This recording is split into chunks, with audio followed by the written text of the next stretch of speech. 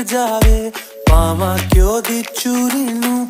ਰਾਵਾਂ ਚ ਬਾਵਾਂ ਚ ਉਹਨੂੰ ਲੁਕਾਵਾਂ ਕੋਈ ਮੈਨੂੰ ਨਾ ਰੋਕੇ। ਮੇਰੇ ਢੋਲ ਜੁਦਾਈਆਂ